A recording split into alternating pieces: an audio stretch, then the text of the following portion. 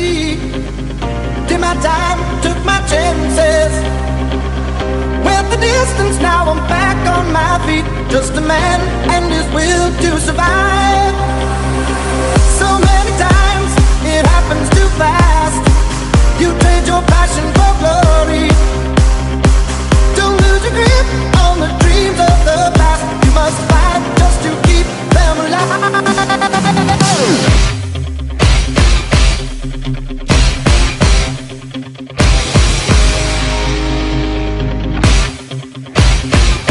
thank you